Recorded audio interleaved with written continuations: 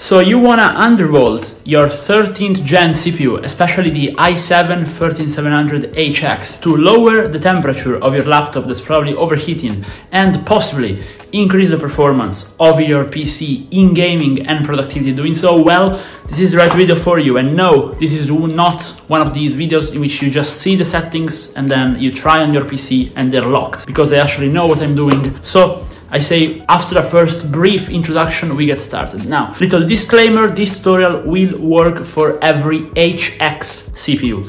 If you have an H CPU, like for example the 13700H, it will still work, but you, you will have to tweak it a little bit. But no worries, I got you guys covered as well. Second little disclaimer, Intel on laptops, they've been doing the same CPU over and over.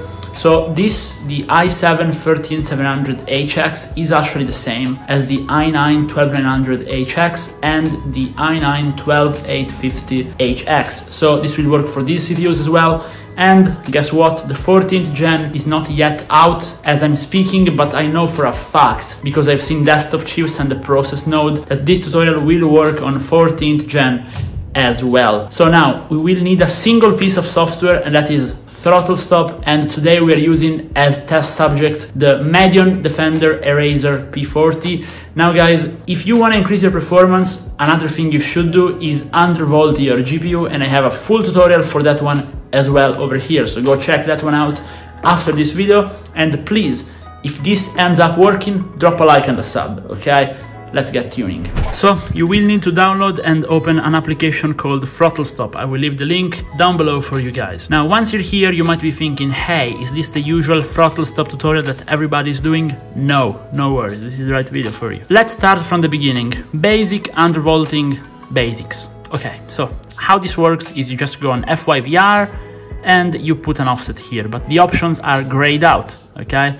So this might be the case on your PC as well. First, we will cover how to unlock these options in every way possible. Okay, at the end of this tutorial, you will unlock these options. Okay, and then we will cover in case you don't have an HX CPU or in case you don't want to go the length it takes to unlock those things, how you can still get a performance increase without actually doing these. Step one, what might be locking these is something called core isolation. It's an option in Windows.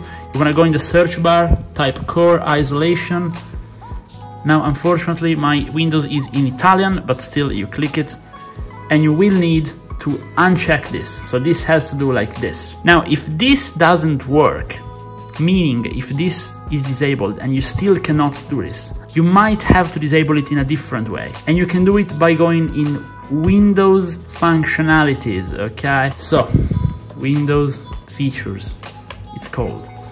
You go into here and now by scrolling these, you need to disable the Hyper-V option, okay? You need to disable the Microsoft Defender application guard, and you also need to disable platform Windows hypervisor, okay? Now listen, this is actually gonna increase the performance of your system as well. So you should just do this, you know? Even, even if you're not gonna undervolt, just do this, okay? Um, in case it went out of focus, again, hypervisor, Hyper-V, Microsoft Defender application guard, just disable them all, okay? And now do those things, reboot your PC, close throttle stop, delete the configuration file, open it again, and hopefully your settings won't be grayed out again, okay? Just go on FIVR and they should be unlocked.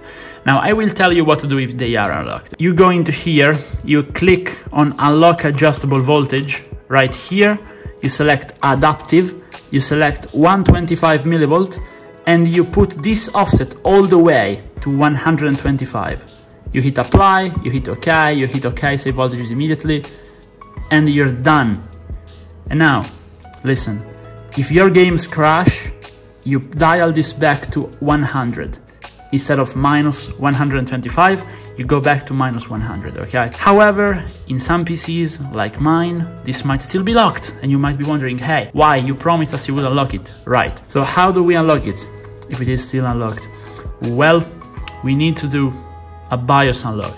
So this is pretty annoying and I will tell you guys I don't recommend this to most people. I actually recommend we go around it in a different way.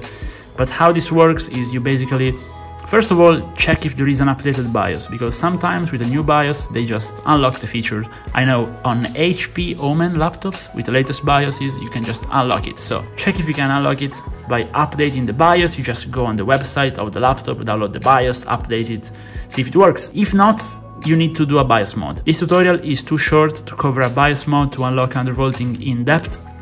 Now, there are videos on YouTube on how to do it. Honestly, none of those videos are um, the best, let's just say. So if you want, I can make a video for you guys, but it would be extremely tricky and it would require what's called a blind flash with a USB. So in case you do it wrong, you will break your laptop. Uh, so you would actually need a programmer to be safe. But hey, I can do it for you guys. If you let me know if the video does well, uh, if we get enough likes on a comment that says, hey, do the BIOS mod, I can do it. I have plenty of BIOS mod on the channel. In case you wanna take a look at the process, you can go check out this video over here. It's a video in which I unlock a Z170 motherboard to support an i9 9900K. Those are the basics of BIOS modding. So we need to do something like that, but just to unlock the hidden option. So yes, let me know. Anyways, what I actually recommend you do is pretty simple. You just click here and hit save. So if you do this, you are disabling your turbo. I would also disable C1E by the way. What this does is uh, your CPU will just run at base clock. Now, you're probably wondering, hey, but won't this dramatically worsen my performance?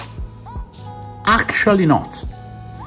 Why? Because the main limiter in laptops is thermals. So they usually share the same cooling system between CPU and GPU. So if you disable the turbo, you actually gain wattage headroom and you gain temperature headroom on your GPU. So in selected cases, doing this will actually increase the performance on your laptop in-game.